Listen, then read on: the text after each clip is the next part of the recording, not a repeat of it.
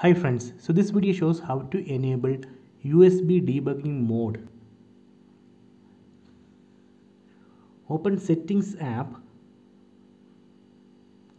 then go down, select about phone, then select software information. Here you can see build number. On build number we need to tap 7 times 1 2 3 4 5 6 7 here you can see the message. Developer mode has been enabled. Go back. Go back. Then go down. Now under about phone you can see developer options. Tap on that.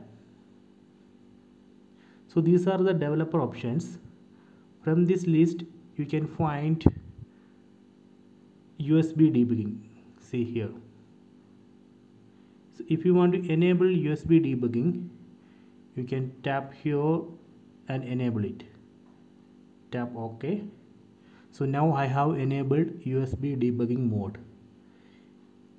If you want to disable USB debugging mode you can tap again here and disable it. If you want to disable developer options you can tap here and disable developer options completely. After that let me go back then go down see under about phone now there is no developer options because I disabled it.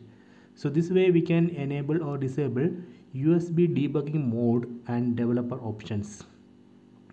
I hope you enjoy this video. Please subscribe my channel. Please like and share the video